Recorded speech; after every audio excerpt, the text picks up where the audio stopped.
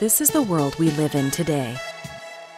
Our work, priorities, ambitions, all moving faster than we can get to them. We stop. We go. We move inch by inch. It's time for a new path forward, where your daily commute is transformed by a ride in the sky. Traffic is beneath your feet. And now, less time getting there means more time being there. The answer is here. It flies. And so will your time.